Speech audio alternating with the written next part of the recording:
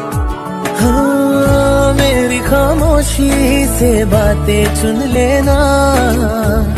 उनकी डोरी से तारीफें बुन लेना।